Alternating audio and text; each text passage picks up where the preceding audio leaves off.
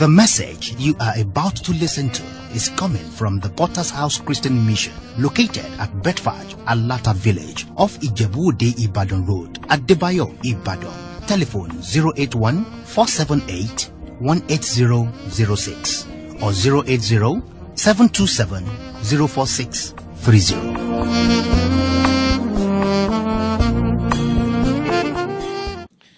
Eternal Father, we want to thank you one more time for this great privilege of having you as our Father.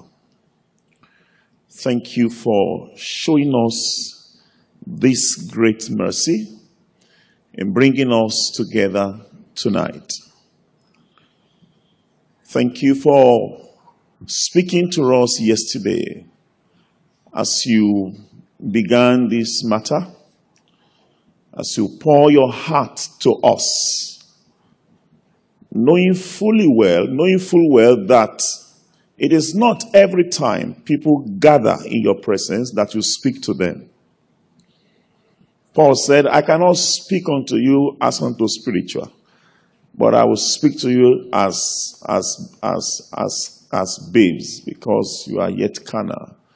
So he, he, he prepared a spiritual meal, but he gave them something else because they are not able to bear it. Thank you because you are not withdrawing from us that which is profitable unto us. We're grateful. This is just the function of your mercy. And we are asking that that same mercy will bring your word to us tonight.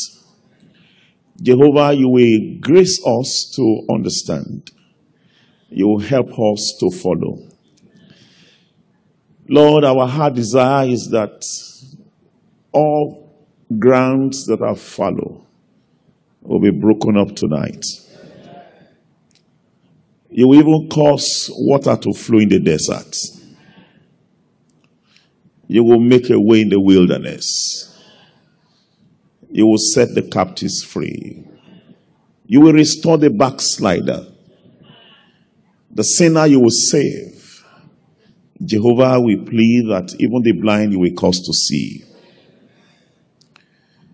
Thank you, Father, for we have prayed with thanksgiving in Jesus' name. Praise the Lord. Good evening this evening. I am going to start from Hosea chapter number 10. That's where we started from yesterday.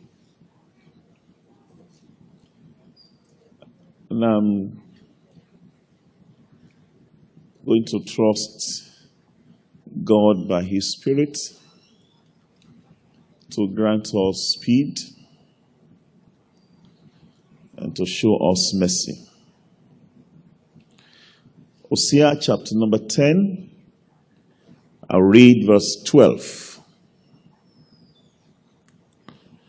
Sow to yourselves in righteousness, reap in mercy.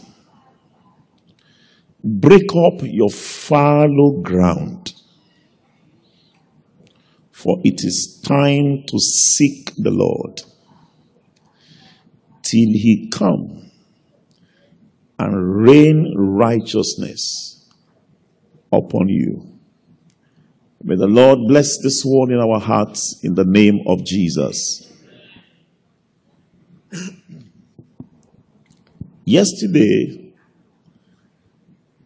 we took time to look at the introduction to this matter. And I did tell you that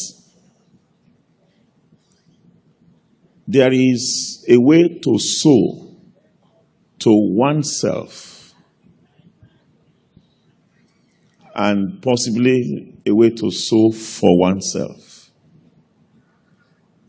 But the instruction here is sow to yourself in righteousness. And I tried to dance around that yesterday. And I did tell you that From what I see here, when a man sows to himself in righteousness, he reaps in mercy. Even though I may not be able to look at that even tonight. But help came to us yesterday as we see the word of God saying to us, break up your fallow ground. Not open up your fallow ground. Not sweep up your fallow ground, but break it. Because the surface is hard. It's been abandoned for years. And it will require force and a very, very strong equipment to crack it open. Because over time it has developed resistance. Broom cannot handle it. I'm not sure that um, even spade can handle it. Not shovel. We need something beyond that to break this hard surface. And it is your fallow ground. For it is time to seek the Lord. I will touch some few scriptures tonight just for us to have a picture of what the Lord is requiring from us.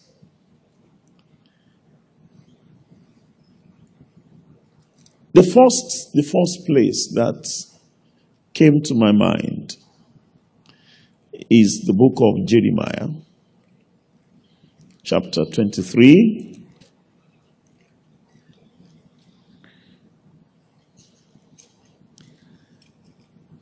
And I'm going to read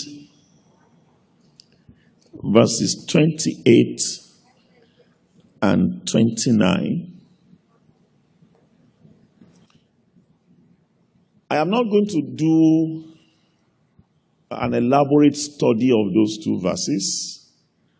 I just want to raise some one or two issues therefrom, and then we can go on to look at other scriptures which the Lord might raise in my heart.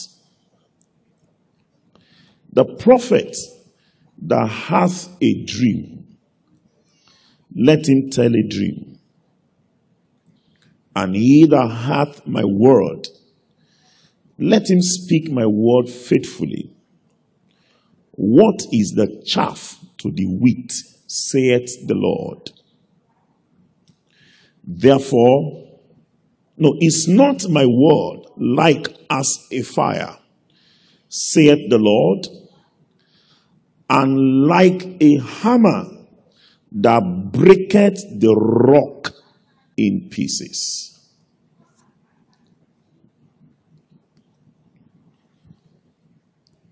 Since the instruction is break up your fallow ground, for it is time to seek the Lord. You cannot be gentle with your fallow ground and yet think you will seek the Lord. And so my first request is, so with what will I break my fallow ground? What is the right equipment? What is the right instrument to break my fallow ground. And God said to Jeremiah, the prophet that had a dream, let him tell a dream. It's a message. And he that hath my word, let him speak my word faithfully. But I need to ask you, can you compare chaff with wheat? It's good to have dreams. It's good to have vision to tell. But it is chaff. But my word is wheat.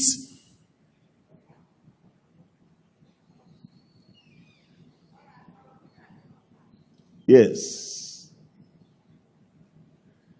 No man settled down to eat chaff.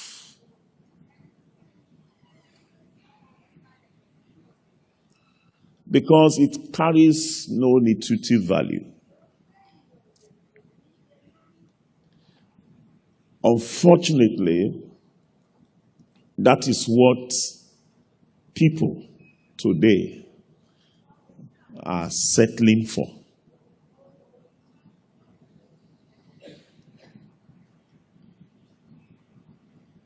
In the days of famine in Samaria, permit me, dove dung, dove dung. Have you heard that before in the Bible? Iniadaba. Bẹ́ẹ̀ni, dove dung is sold. Is it 30 shekels? I can't remember the exact figure. And I sat down one day and said, Excuse me, dove dung? Now, I agree that there is a particular grain that is called dove dung. But I'm also not thinking that you can ever understand the Bible when you approach it from the grammatical point of view.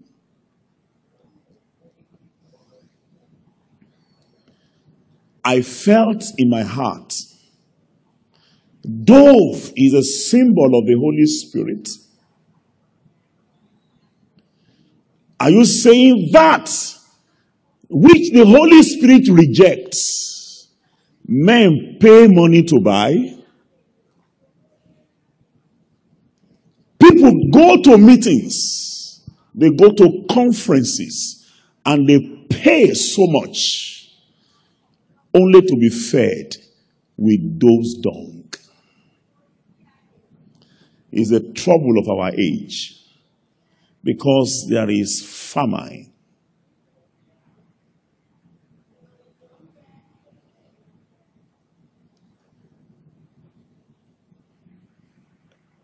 The prophet that hath a dream, let him tell a dream. And the one that has my word, let him speak my word faithfully. What is chaff to the wheat? Unfortunately, those who carry chaff are much more popular. They are famous and they throw money everywhere. So even those who have the word of God, they are afraid. They are intimidated. I went to preach one church many years ago now. Yes, maybe about 15, 18 years ago now. The Lord was gracious as He gave us His word. And when I pulled the net, some soul responded. So one day I was driving and I saw one, I recognized one of them. So I picked him. So I engaged him to know how he's feeling now that he has given his life to Jesus. And then the young man told me that we don't have time for all of that in our church. oh." Ah, I was shocked. So I decided I was going to go and meet the pastor. So I drove to his office. I said, Sir, I met one of those, and I thought you are going to watch over that harvest. You know what he told me? He said, You can't be preaching that kind of message every Sunday. The people will run away.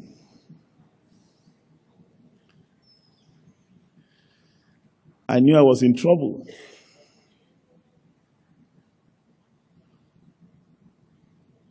So even those who have the word of God, they are afraid. And so we see fallow ground abounding in the church. We're afraid. I understand. You can't be preaching the word of God that is strong and somebody will draw his check and write and give it to you. I know that's difficult. I know. I know. I know. I've seen many, oh. but I have not seen as much as the old apostle saw. So it's a privilege to suffer for Christ's sake. And then I hear him say, Is not my word as a fire? Each time I remember this, I ask myself, why then are churches multiplying and sin is on the increase?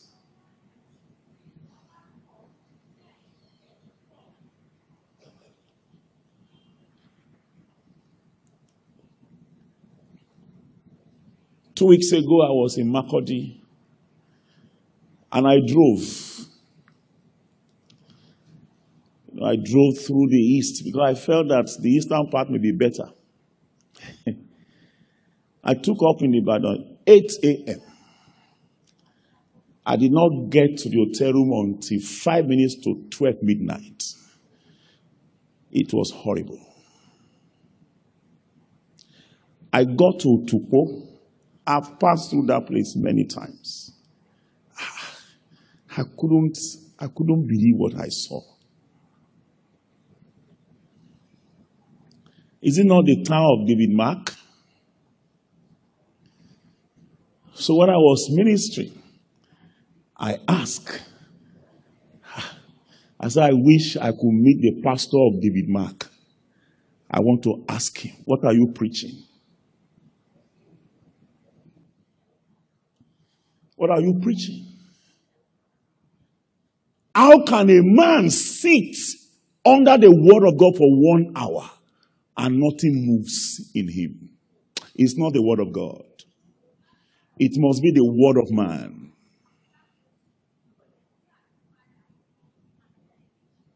No, it's not this. It must be something else. People came to cry at the sepulchre of Lazarus. He didn't respond to all of them. But when my Lord came there and he said, Lazarus, come forth. The Bible says, He that was dead came forth. He may not respond to other voices, but he cannot resist the voice of Jesus. Something tells me that it is not the word of God that we hear everywhere. Chaff, not wheat.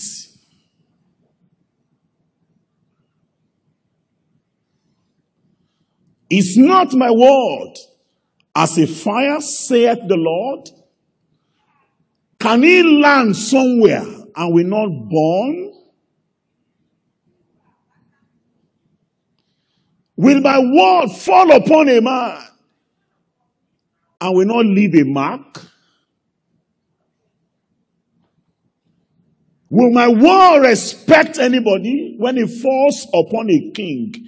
He burns.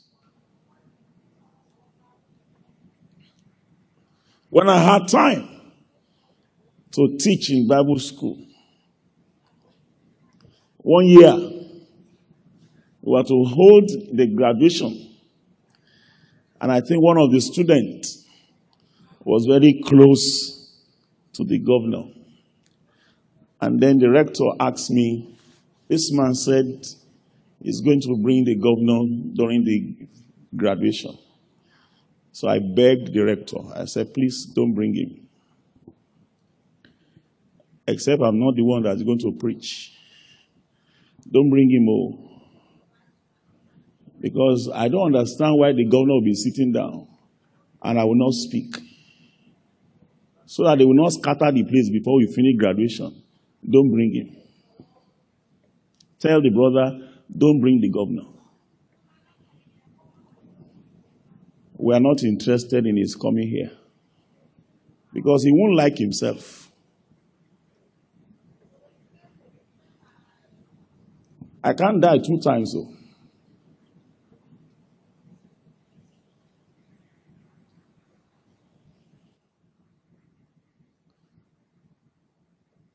Is not my word as a fire, saith the Lord, and like a hammer that breaketh the rock in pieces.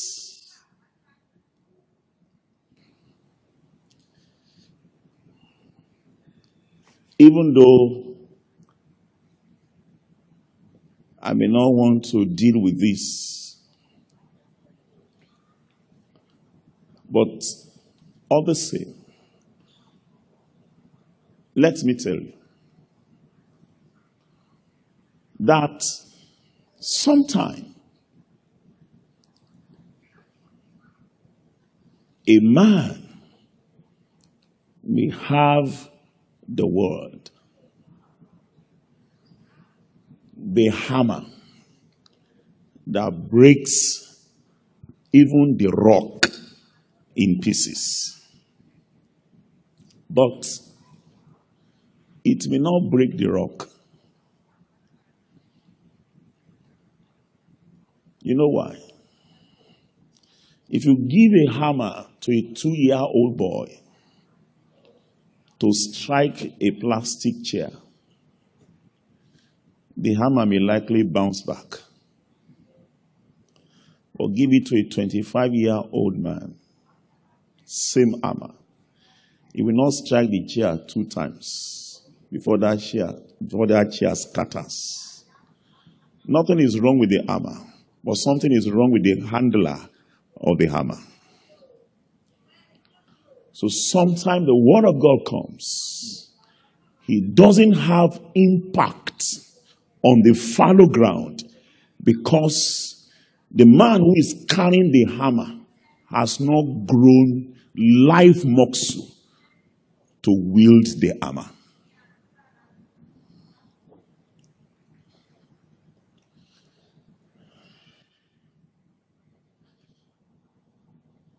So I realize that if the Lord has brought us together this weekend, and the issue is break up your fallow ground, then we may not be able to approach this matter without the hammer.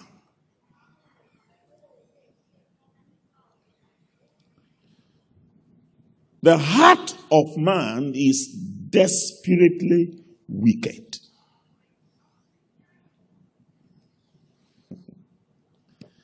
This beautiful scripture, Hebrews chapter number 4.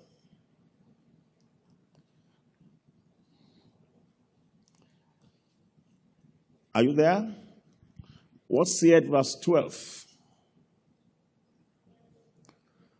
For the word of God is quick and powerful and sharper than any two edged sword, piercing even to the dividing asunder of soul and spirit, and of the joints and marrow, and is a discerner of the thoughts and intents of where place of the heart.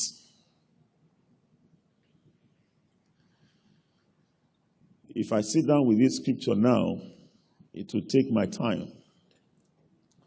The word of God is quick. In other words, the word of God is alive. The word of God is powerful. The word of God is sharp and sharper than any two-edged sword you can think about.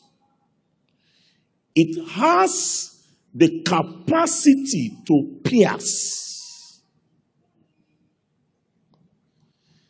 No matter how hard the heart could be, the word of God, not the word of man, not the counsel of man, not the thought of man, the word of God is powerful enough to pierce. And when it pierces, it divides asunder soul and spirit. Where they are muddled up, where they are mixed together. I know sometimes you don't even know who you are. Sometimes you are confused. Sometimes I hear a Christian, one mind say I should go, another mind say I should not go. I say, which one?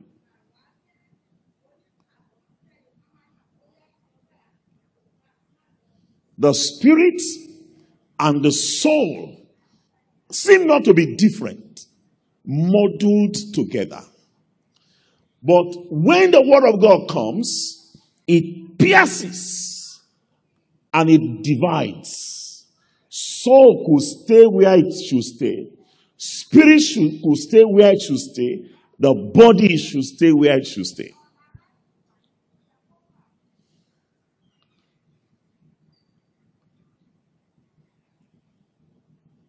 The Word of God, if you sit under an x ray machine, what will he see? He may see everything, you know, but not the thought of your heart.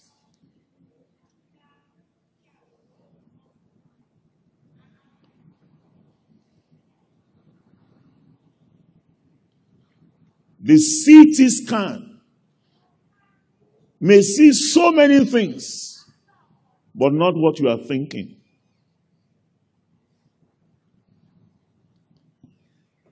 This Bible tells me that the Word of God could separate joints and marrow. The Word of God discerns the heart. The Word of God discerns the intent of the heart and the thoughts of the heart.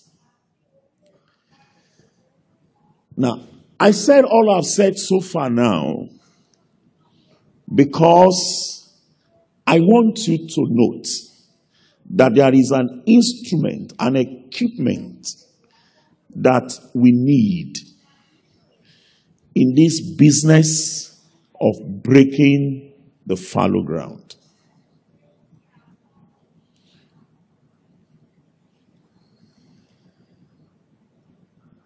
And I don't want to pursue it too far because of other issues which I perceive the Lord will have me deal with tonight.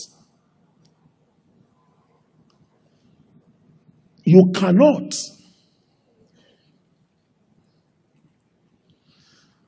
sit with friends and you are gisting and you expect that this fallow ground will be broken.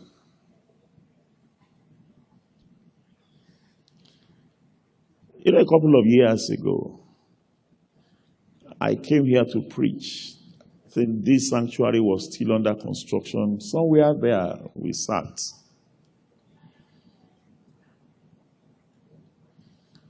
And one of the evenings, as I finished preaching, I sat down, I was, I was praying. And a brother came to sit beside me. I don't know whether the brother is here now. I don't know. I can't recognize him. And then he said, I like the way you preach.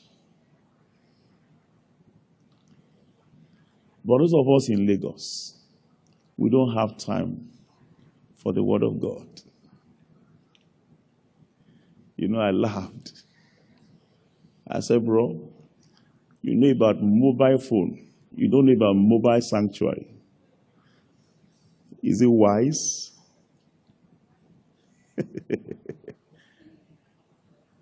Is it wise?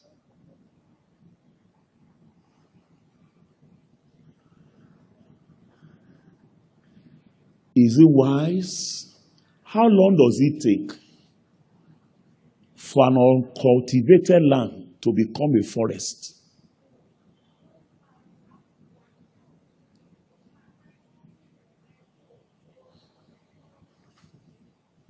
Not, not even when it is raining. Not in a rainy season like this. Unfortunately, if it is, if it is former rain or latter rain, that would have been all right for me. But you know what Paul said? Somewhere in Acts chapter 28, as Dr. Luke was writing, they just escaped from the sea and they found themselves upon one island that is called Melita. And those barbarians, they did them no little kindness, for they kindled fire for them. Paul said, because of the present rain and the cold. I said, ah, that's a strange rain in the Bible. I tried to check where the Lord prophesied or spoke about present rain. I saw former rain. I saw latter rain. I said, where is present rain coming? This present rain does not bring harvest. It brought cold. And the love of the brethren waxing cold because of the present rain.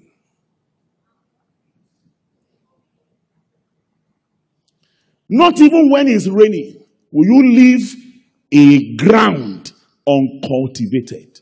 It becomes a forest in few weeks.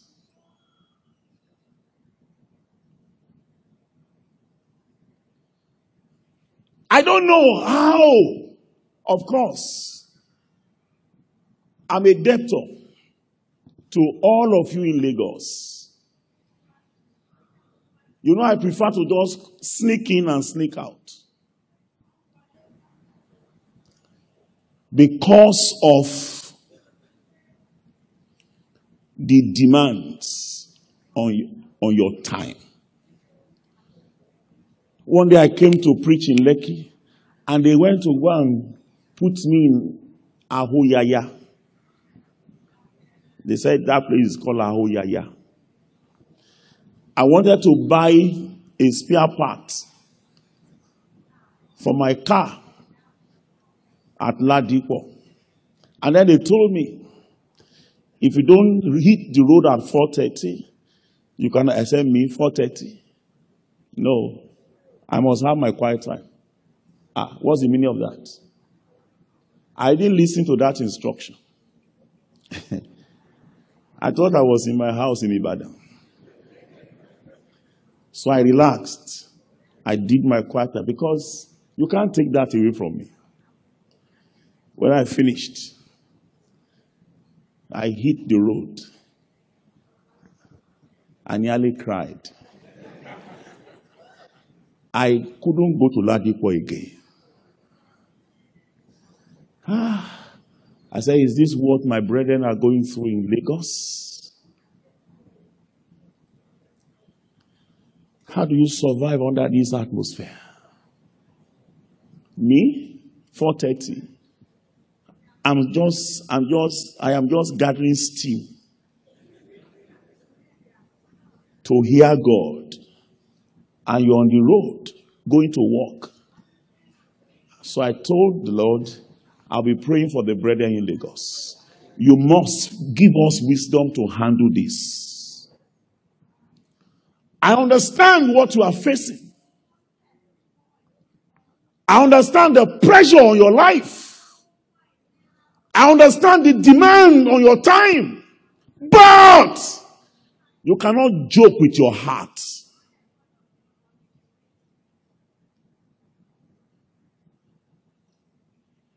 It is because if you leave it uncultivated,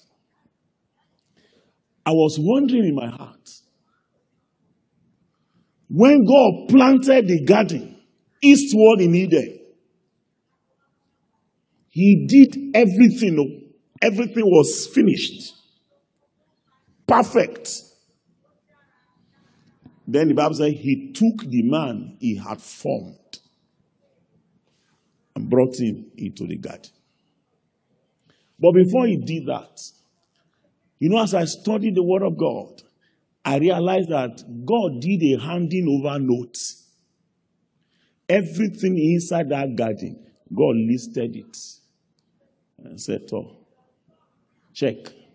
And he checked, says, All right. You sign, the sign is all right. Keep it and dress it. So I was wondering, in the handing over list that I read, there was no serpent there. So I was asking, I've been begging God that when we get to heaven, there should be time for question and answer. Because I have questions.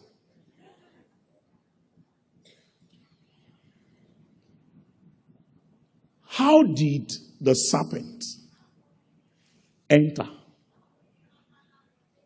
And Adam did not know. I am thinking that if he's been dressing the grass and keeping it low, maybe he will have seen the serpent coming and will have said, uh uh you are not part of the handing over notes that God gave me. Where cometh thou? As the Lord asked the devil. But I thought he left the land uncultivated. I thought it became fallow. And so the serpent sneaked in. And before he knew what was going on, he was already a victim.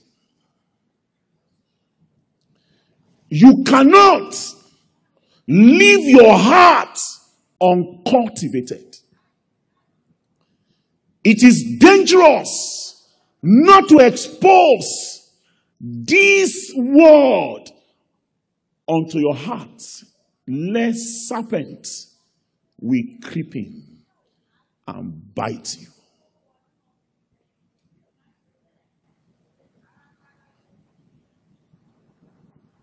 I hear prophet Hosea saying, it is time to seek the Lord. So I ask, when is when it when is it to seek the Lord? What time is it to seek the Lord? Can I open a scripture? Can I? All right. Luke chapter 2.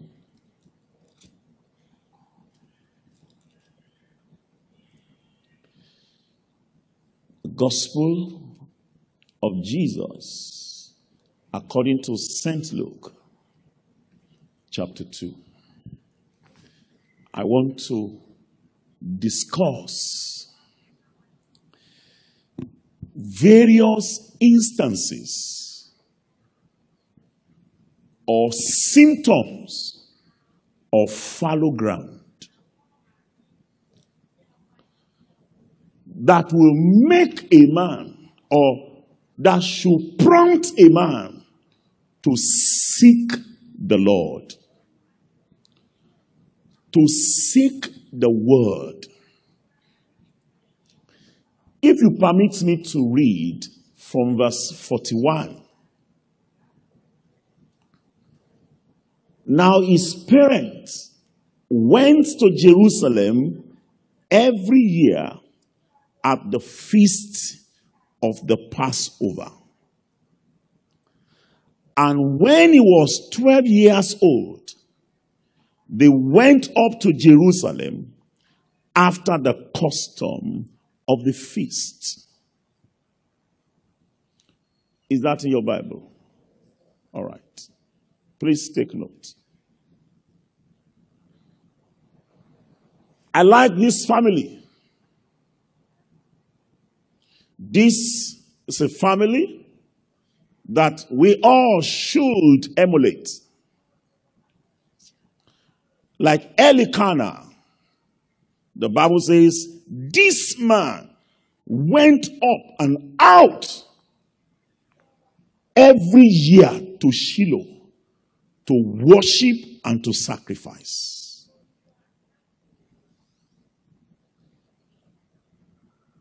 And he will not go alone. Hannah will go. Peninnah will go. All the children will go. I don't know the name of their children. But the three of them, you know, their names ended with Na, Elikana, Anna, Peninnah. It's a Na family. Maybe their children are also Na, Na, Na, Na, Na. I don't know. But every year he will go and he will go with his wives, he will go with his children. That seems not to be the way we approach God anymore. We leave our children behind. I know I kept begging God, and I know one day will answer my prayer. You know, God answers prayer. Aha. He does. I remember as Moses prayed, Show me thy way that I may know thee. God said, You can't see my face. For no man will see my face and live. And I guess that prayer was not answered. Centuries after. Because Moses knew no man can know God except God shows him the way. Jesus said, I am the way, the truth, and the life. No man cometh unto the Father except by me. So Moses meant, Show me Jesus that I may know you. That prayer appeared not going to be answered.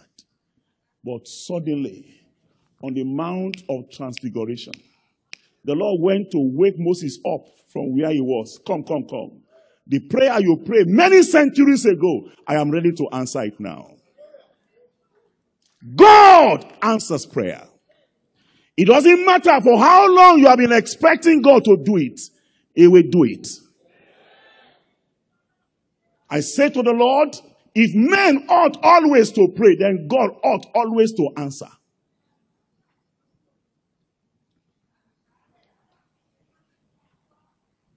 Láti máa dáhùn láì ṣàárẹ̀.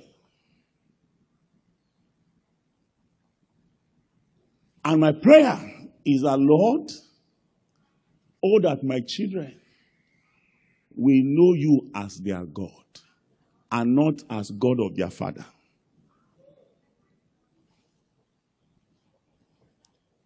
I don't want them to know God as my God.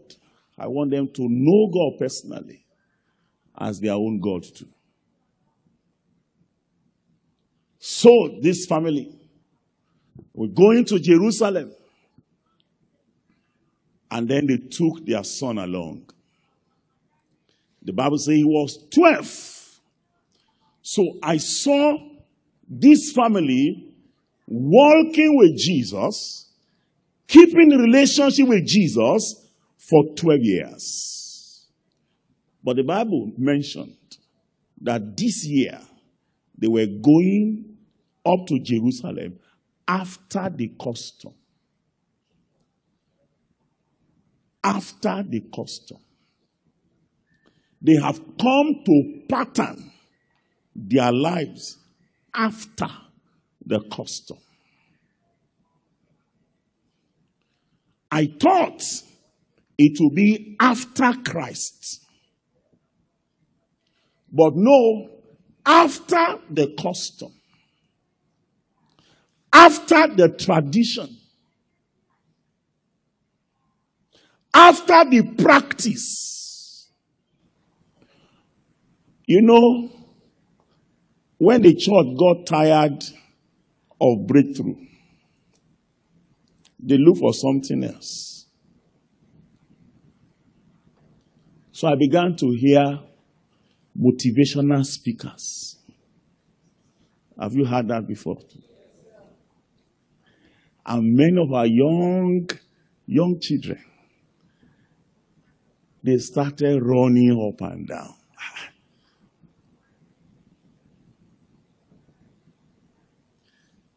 I don't know. You know, I just get confused. Maybe because I'm not a modern believer. Maybe. Just get confused. This one is a motivational speaker. And then they have started cramming, you know, quotable quotes.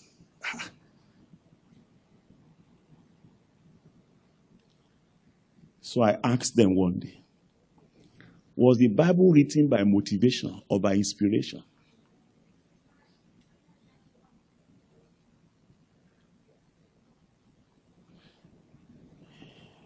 Is it not when inspiration finish that you people they look for motivation all about? Won't you return to the Lord who inspires?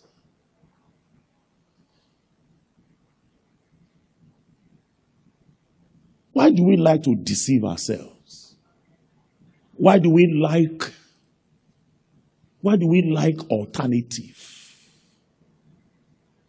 Mary, at the marriage that was held in Cana, could have given them sobo. It had the same color with wine. But she went to Jesus, to the source of life. They have no wine. We're not expecting sobo. What we want is wine.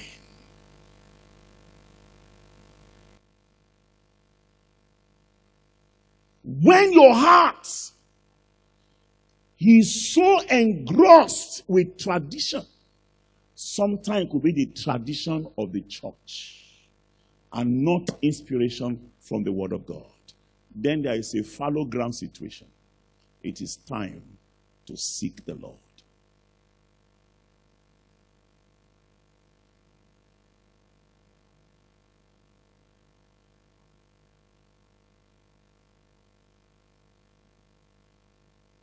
And you know it's becoming, it's, I, don't, I don't understand. And I don't want to trouble you with my trouble. I see these people. They have been going well. But at a point, it was a routine.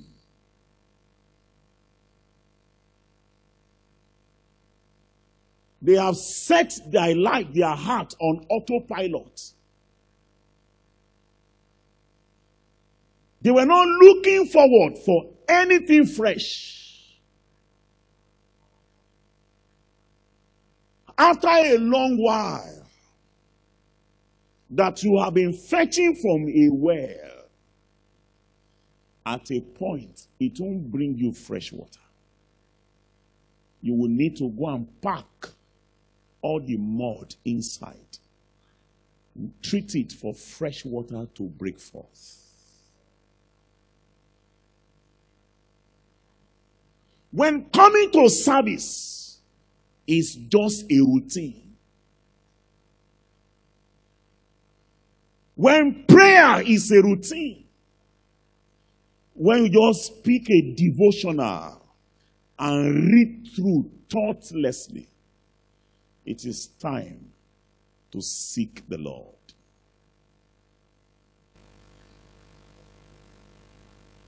I am not against your devotional. Please use it.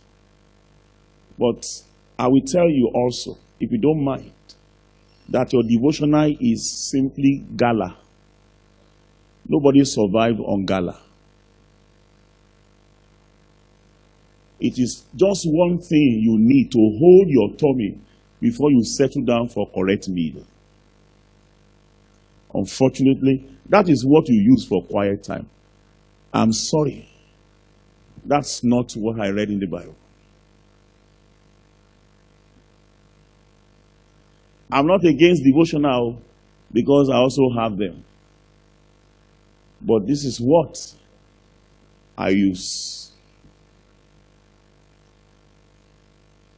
And I'm not against the fact that you are using your iPad.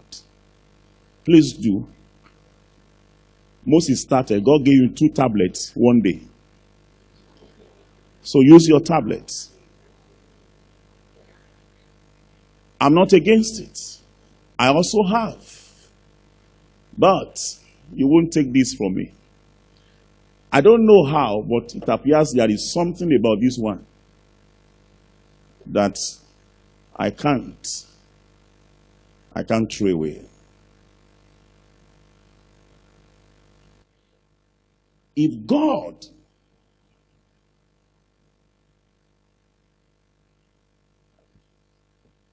if God will help your heart, if God will help my heart, then we must stop deceiving ourselves. When coming to God's presence is simply a routine, you, you are coming.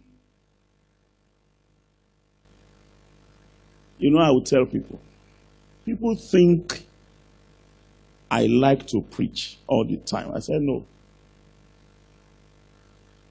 Today I've gone to preach two times somewhere oh. today. Very early in the morning, I will leave, rushing somewhere to go and preach. And by evening, I will still return to Lagos here to preach tomorrow. It's like that. Oh. But for me, preaching is a distraction. Ask me, what do you want? Say, I want to sit down with the Word of God and read and pray. That, if I don't preach one message, will take me to heaven.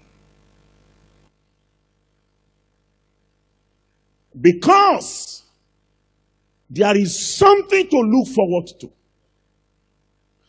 There is something fresh that must break forth. Because this heart has tendency to grow weeds. People, TV, social media, rain of troubles that will make things to grow very fast before you know it. There are many of us, when we started, they can't try to embezzle money in your office because you are the conscience of that place. But now, you have been part of that evil. What happened? It was because your heart became fallow. You are not keeping and dressing it with the Word of God. I see you reading devotional on WhatsApp. He said, This is very nourishing. ẹni tí inú òdùn tó ń. You are just consoling yourself. What is nourishing? I was talking to somebody and said, Look, you, you need to you need to watch this film. Even though it's secular, it's secular. But you need to watch it. It's, it's, in fact, when I watch it, it, it, it, ministered to me. I told her, I appreciate you. But I also need to tell you that the day us began to speak to Balaam, it is because Balaam lost connection with God.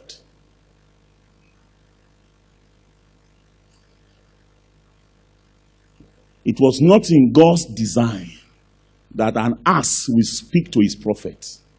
No. No. If this one will not speak to me, then leave it. They say, Abraham, Abraham, Abraham, let Lazarus rise from the dead and go. If a man should rise from the place of death, they will listen to him. Abraham said, Very good counsel. But they have Moses and the prophets, which means the Bible. Let them listen to the Bible. If they will not hear the Bible, even if a man should rise from here, they will not listen.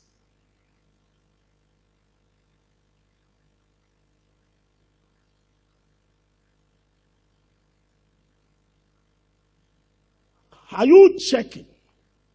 And you are seeing what I'm seeing here.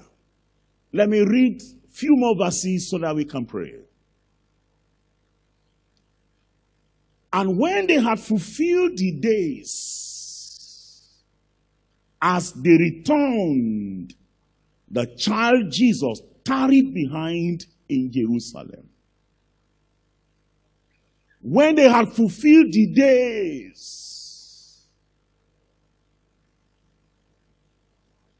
they came to Jerusalem for the feasts, and they fulfill all righteousness.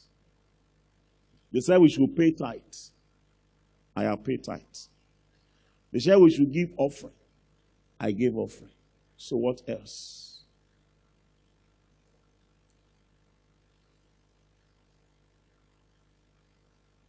And I was looking at Jesus, though a child, but he was not childish he tarried behind. These parents, they were so used to Jesus that there was no fresh desire for him anymore. You are so used to church. You are so used to the district overseer that when he's the one speaking, say, I know his style. He will start from this place. Then it will go like this and come like this. I know.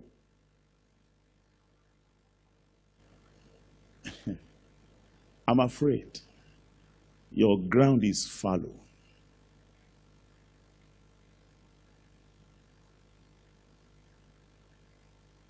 Is fallow.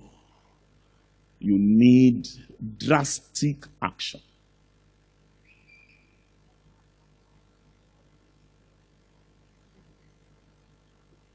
God told Abraham, Take your son, thy only son, and go to Moriah. I will show you one of the mountains there. There, offer that child as a burnt offering. And in the morning, Abraham saddled his ass. The Bible said he clave the wood. And then he bind the wood together. And then for three days, he was traveling to the forest. I said, Abraham, are you all right? Eshu, are you all right? A man is going to the river to take his bath. And he carry a bucket of water on top of his head and he's going to the river. Is he all right? You are going to the forest and you are carrying firewood from your house. Are you all right? I didn't know that Abraham was all right. Now, me, know they all right.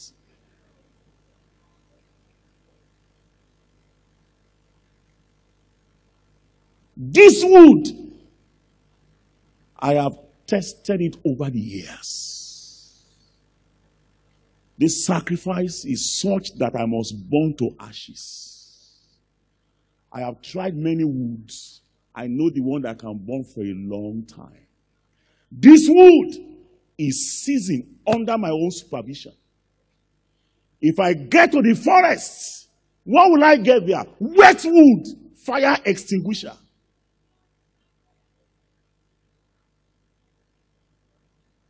If I strike a match, they won't catch any fire because they are not combustible. Are you not like that? That no matter what message is coming to you, nothing happens because you are wet, drenched in this present rain. What to eat, what to drink, and what to wear. Kò gbẹ kọ́ ó tutù ni, ó ti tutù, ó ti rin, ó ti rin. Torí tutù kò mean cold, ó rin.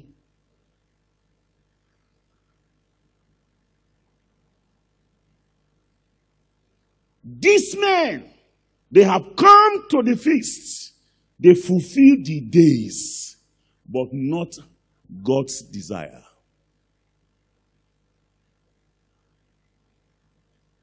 Ah, is it because we are in Lagos?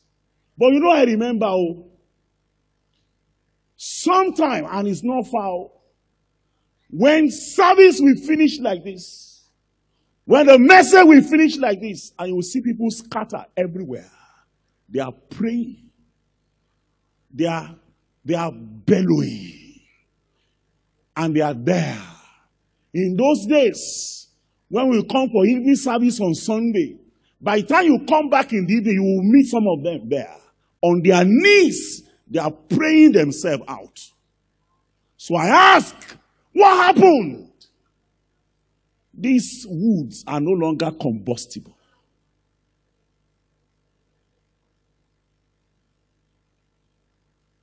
It is time, friends, to seek the Lord. We cannot continue this way. This is not the Christianity I met. This is not the church I met. No.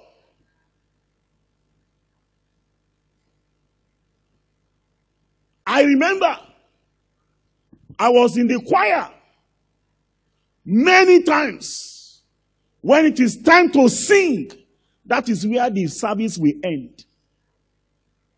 Because before we finish, all of us are on the floor, we are crying. The preacher will not come to say he want to say anything because himself is there on the floor crying. What happened? These wood are not seasoned. These are wet wood. And they cannot be wood for revival.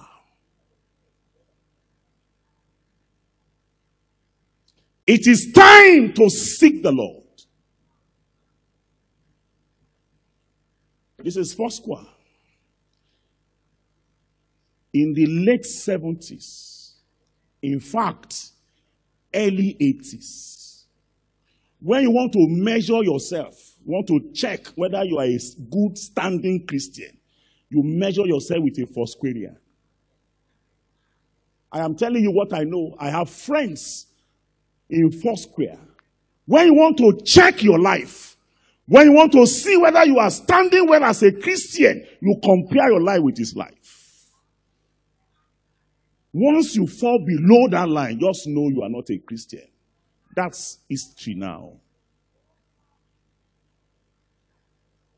It is time to seek the Lord.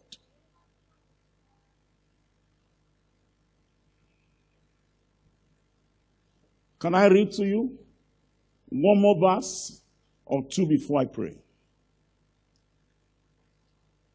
The child Jesus tarried behind in Jerusalem, and Joseph and his mother knew not of it. 12 year old boy. o. Ta ló sọnù? Ọmọ àbáwọn òbí. Who got lost? The child or the parents?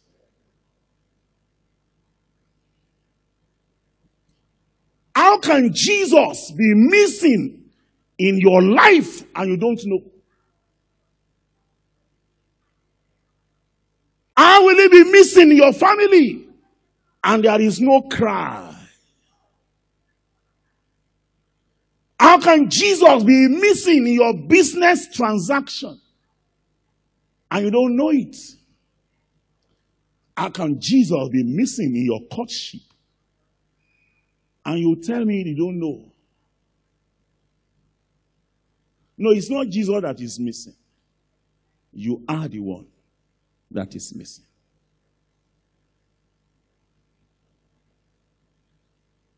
They didn't know. Ah, A 12 year old boy could not disappear like that, and they didn't feel it.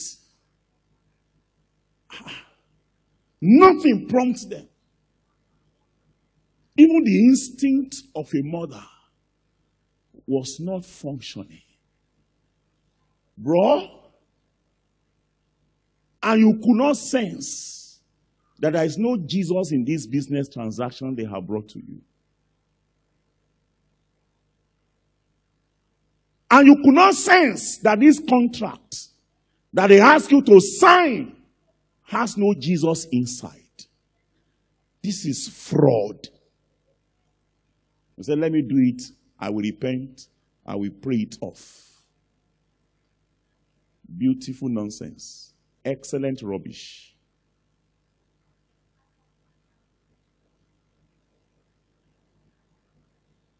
How will such a great vacuum be created in your life and you don't know? Jacob said, God is, is in this place, and I know it not. Is God a needle? It's only a man who wants to reproach an elephant that will say, I saw a glimpse of something now.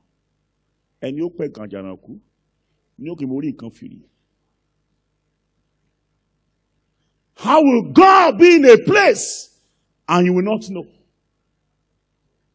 And how will be missing in a place and you will not know? Sister, tell me you don't know that God is not in your marriage again.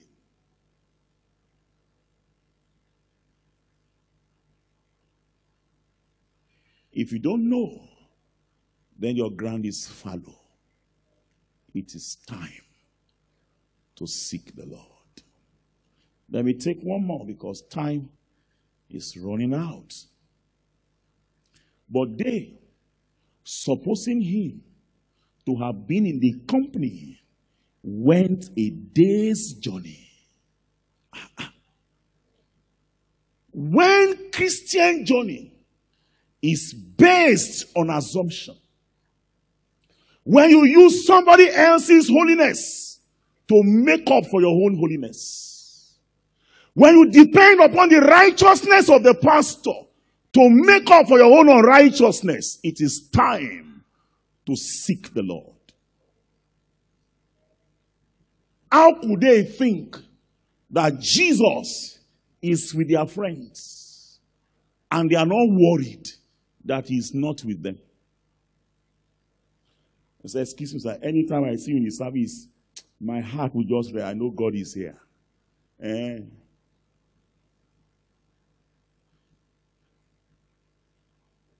That angel greeted Gideon and said, Hail, thou man of valor, the Lord is with thee. That was an angel. I thought Gideon was going to celebrate that. He said, Oh, guy, angel, forget that. Of what use is God with me if he's not with us? If God is with us, why are we like this? Why is our portion like this? Why is our life like this? Simeon, I am threshing wheat in a wine press, not on a threshing floor. And you say, God is with me. How?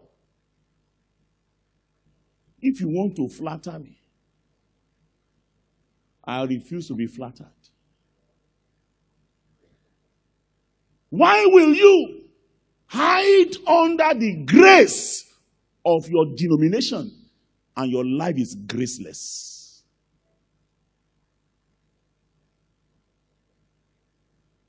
Why will you hide under the uprightness of your pastor and your own life is crooked?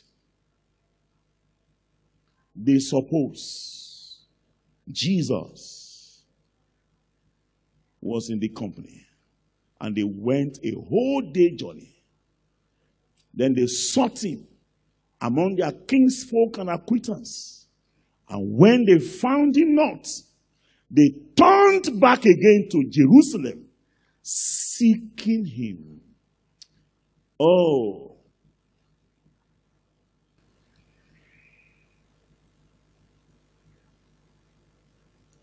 I want you to listen to the word of God. This couple did what challenged me. When the day was running out and it was beginning to get dark,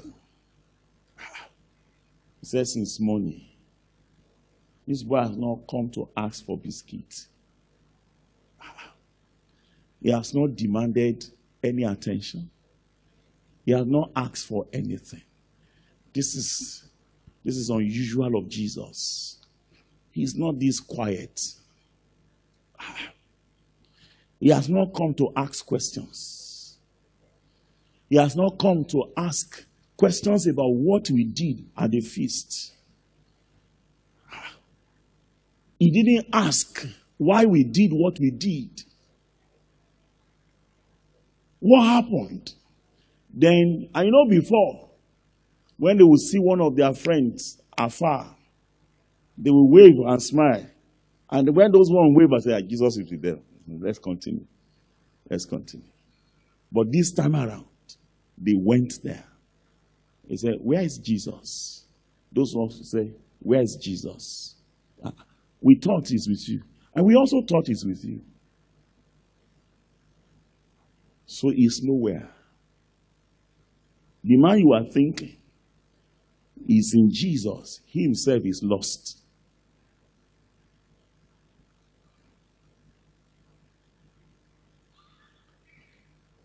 The Bible said they they they turned.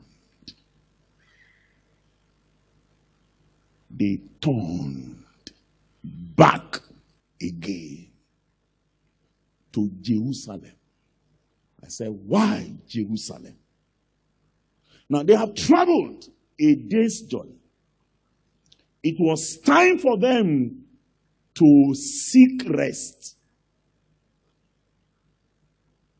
It was time for them to check into an hotel and rest their weary feet.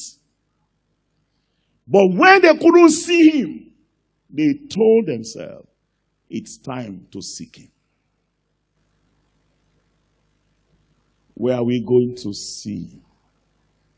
Say, where we saw him last. Where did we see him last? Say in Jerusalem. Brother, you saw him last when you were in baptismal class. Ever since you left that class, you lost him. You are just patching it up.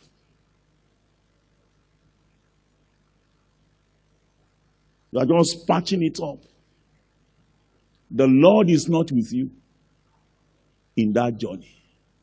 Won't you tell Sunday school superintendent that you want to step down and go back to where you saw him last?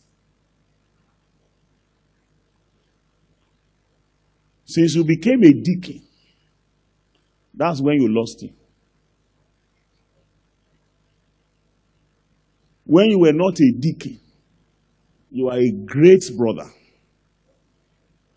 But once oil was poured on you like this, it was like oil of coldness.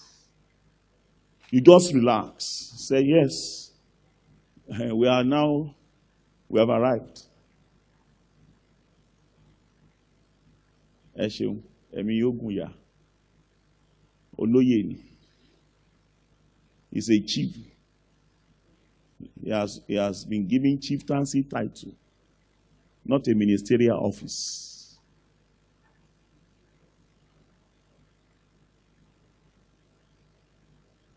As we pray tonight, you know, I see the Bible say, seeking Him. Time will fail me to touch that. But you know, I read somewhere in John chapter 6, maybe verse 34, somewhere around that point. When people ate bread and they came the following day, they couldn't see Jesus, they couldn't see his disciples. The Bible said they went seeking for him. So I suddenly said, ah, ah, is there a difference between seeking him and seeking for him?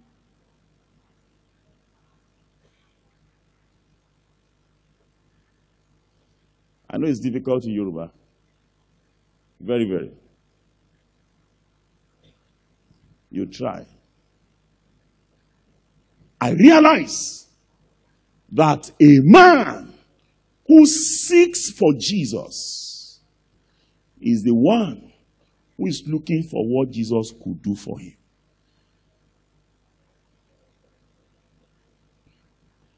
Jesus told them, You are not looking for me. You are looking for bread. You ate yesterday and you are filled. Not because you saw the miracle, but because you ate bread. I said, Excuse me. I don't understand that. They saw the miracle. That's why they came. Eh, I said, No, no, no. They didn't see the miracle.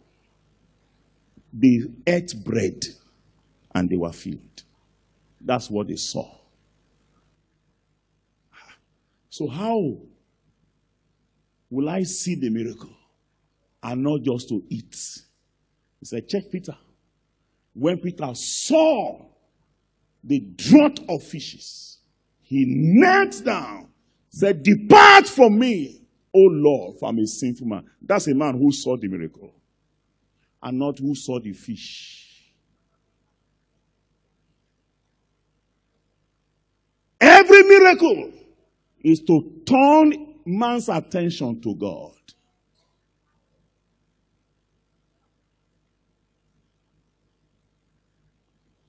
As I round off, he took them three days before they could locate Jesus. They went everywhere. Where they think a 12 year old boy will be.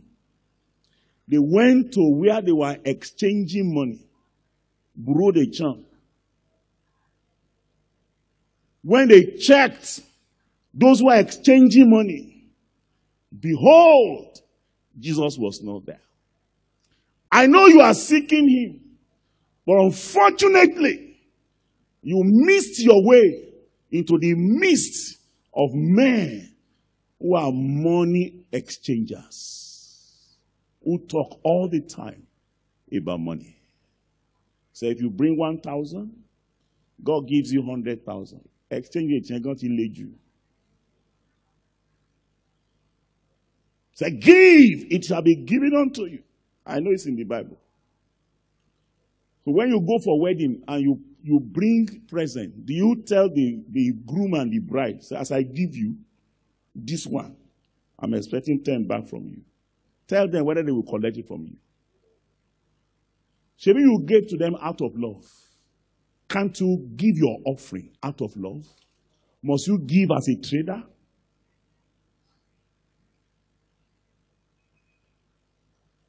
I see.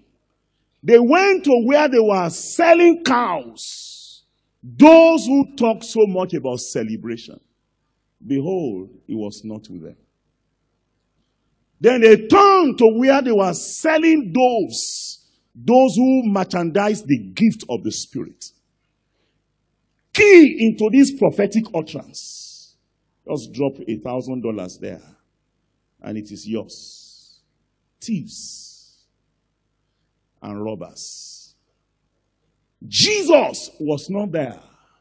By the time they were locating, they found him among men who are discussing the word of God. Rise to your feet as we pray. I have just six minutes left. Sir, it is time to seek the Lord. I know you didn't start this way. I know you didn't start this way. Why will you continue this journey towards heaven without Jesus?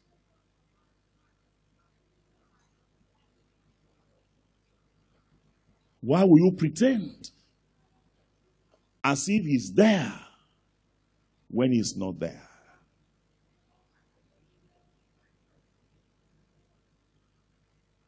Why will you? I want you to call upon the Lord tonight. You know, I shouldn't teach you what to pray about. Except I have spoken to you and not God. But I am thinking that your heart should yearn in righteousness for God to come back. Israel said, Absalom, whom we anointed as king over us, is dead in battle. When are we going to bring back the king?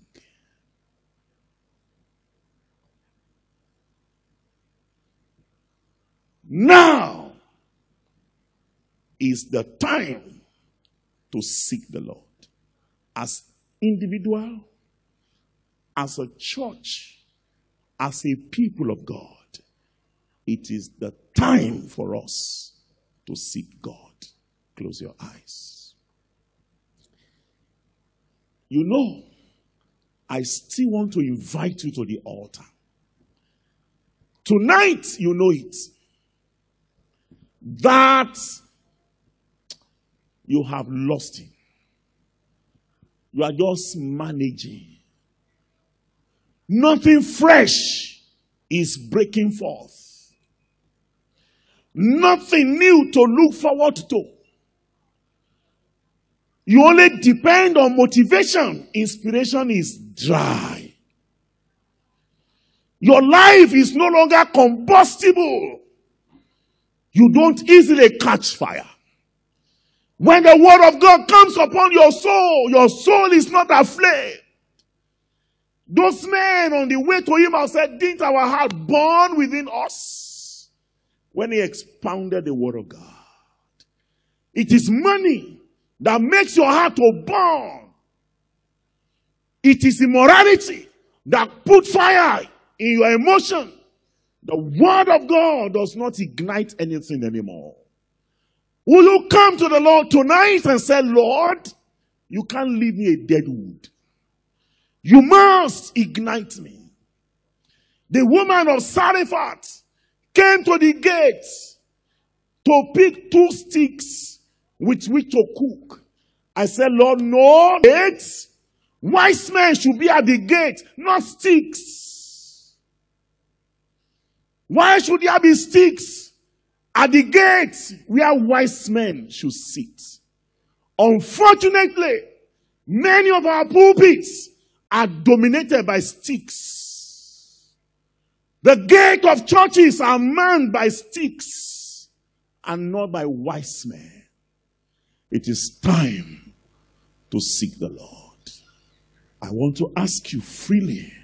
You can come to the altar and say, Lord, I am coming back home.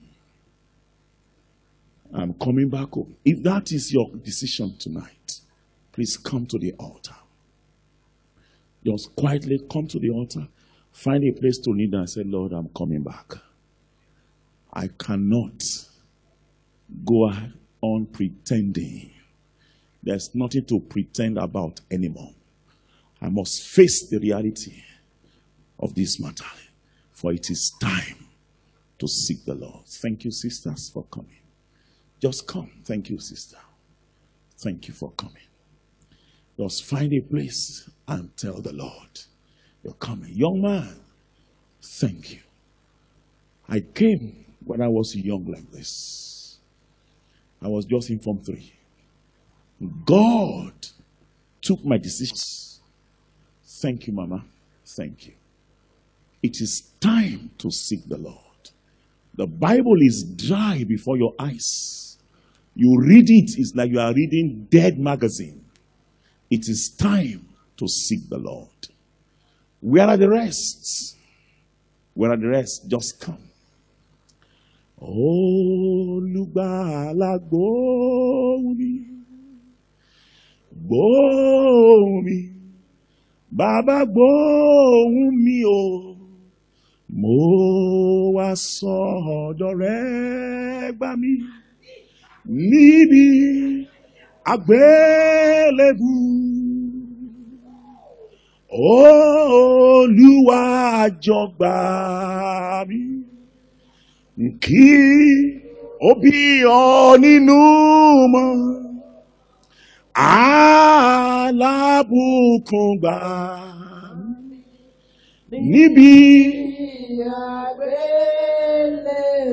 èmi ṣẹ̀ ṣùgbọ́n o kú èmi ṣẹ̀ ṣùgbọ́n ìwọ kú ìwọ kú. Ìwọ kú. Ìwọ fi ẹ̀jẹ̀ rẹ wẹ̀ mí fi ẹ̀jẹ̀ rẹ wẹ̀ mí mọ́.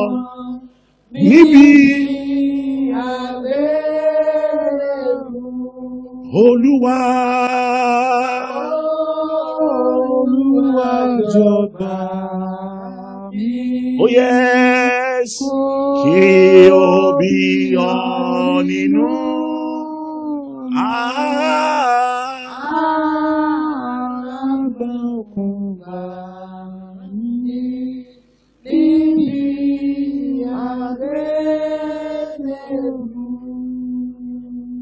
For those of us who are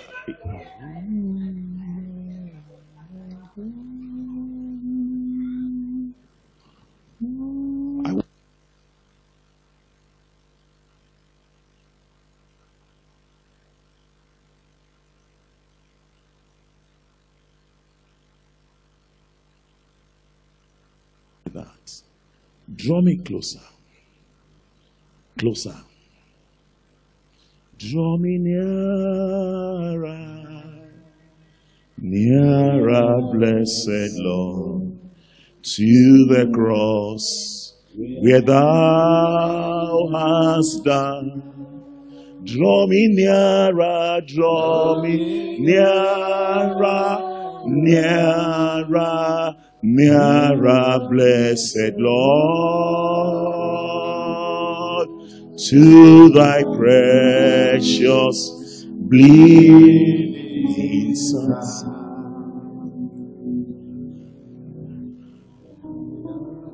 I want you to ask God, draw me nearer. I am drifting. I am drifting. I am drifting. Don't wait until I get lost. Pull me with your strong arm. I must not be missing in action. I must not from church go to hell. If I make money and I don't make heaven, what have I made? Pull me into yourself. My, my heart is willing to drift. That was the song we sang. I have the potency to leave you alone. But Lord, put me in your handcuffs and tie me to your kingdom. Do not allow me to escape. I see dazzling sights. I hear sounds that want to distract me. Father, detain me in your presence as Doeg was detained. Do not allow me to go. put in my hand this sharp sword with which I weed my heart so that weeds will not grow on my heart and make me to look like a wild animal. And my heart to harbor all kinds of dangerous reptiles. The reptile of lying, the reptile of immorality, the reptile of pride, the reptile of covetousness, the reptile of prayerlessness, the reptile, reptile of faithlessness, doubt, and all kinds of unbelief. My heart must not be a place for them to hide.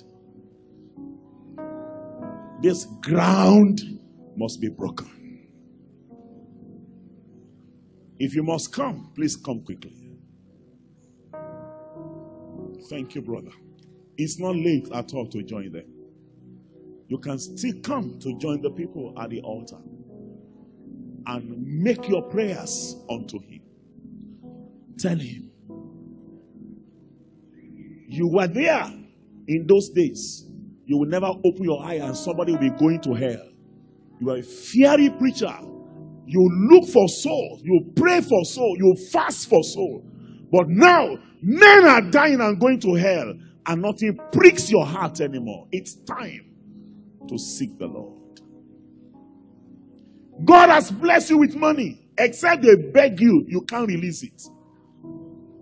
You are so engrossed with seeing your alerts, and your bank account is increasing every day. You have never learned the principle of you decreasing and Him increasing. It is time to seek the Lord. I want to pray. Will you please bring this prayer point to close? In Jesus' name we have prayed. Almighty Father, our heart is burdened. We see no more our sign. Our fathers have told us we heard the great exploits you did in their days. But we look around, we couldn't find any. We wonder if you are the same yesterday, today, and forever. If you did it in their days, why are we like this? We realize it is simply an announcement for us to seek you. And Lord, with all of our hearts, as a deer pants after the brooks, you will make our heart to pant after thee, O God. Lord, not what you offer, that one we follow, but after you first. We want to have you as a possession. We want to win you as a medal. Jehovah, we want to have you as though our property. Fathers of old, when they bless the air, they bless them, making God their personal God. This is our heart desire. We want to see revival breaking forth in Foursquare Gospel Church. We want to see this fire consuming everywhere. Jehovah, we want to see this fire being ignited afresh in our hearts. That we might set the nations ablaze again and stand for what we were known for before in Nigeria and all over the world. This is the cry of our hearts. And we request, Lord, that you will respond to us in the name of Jesus. All these ones who are at the altar, I pray, Jehovah, you will restore them. Some of them are wounded. You will wash their wounds. You will pour oil and wine. Lord, wine to disinfect it, oil to soothe it, and you will bind it with your bandage of love. And you will cause healing to take place in the name of Jesus. There are some of them ailments in their bodies made them to lose touch with you. I command every sickness under the sound of my voice here to disappear in the name of Jesus. Some are here, frivolities took over their hearts. They became so careless as they chat on social media.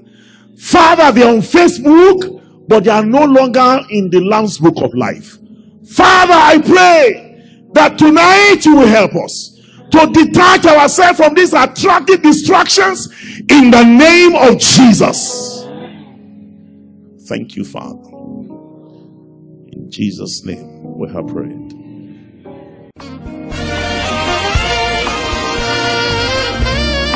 We hope the message you have just listened to has challenged you to greater height in God. Take a step of obedience in response to the message. It shall be well with you.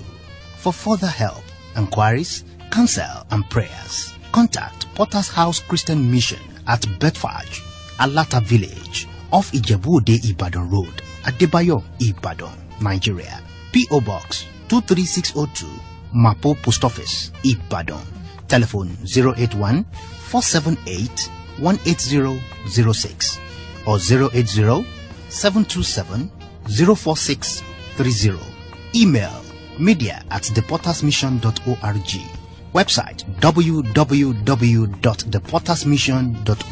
you.